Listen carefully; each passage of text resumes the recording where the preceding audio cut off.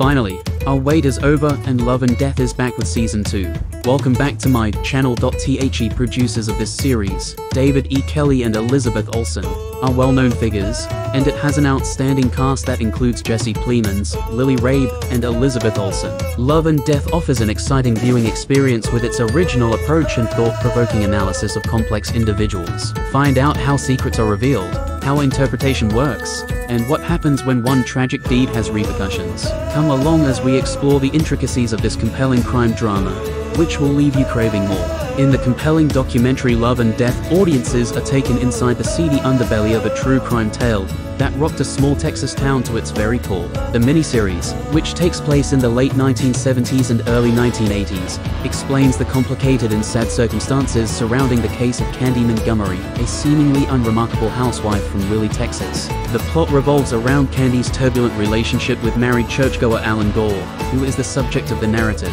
The decision to renew a show is frequently influenced by a number of variables such as audience size, critical acclaim, and the availability of fascinating real-life tales to tell. Given that the first season of the show is still airing, it's imperative to wait until HBO Max or the show's creators make a formal announcement before deciding whether a second season will be made. Love and Death Season 2's release date and time are currently unknown, because they depend on whether the show is renewed. So, we can expect the Season 2 announcement to air in 2024.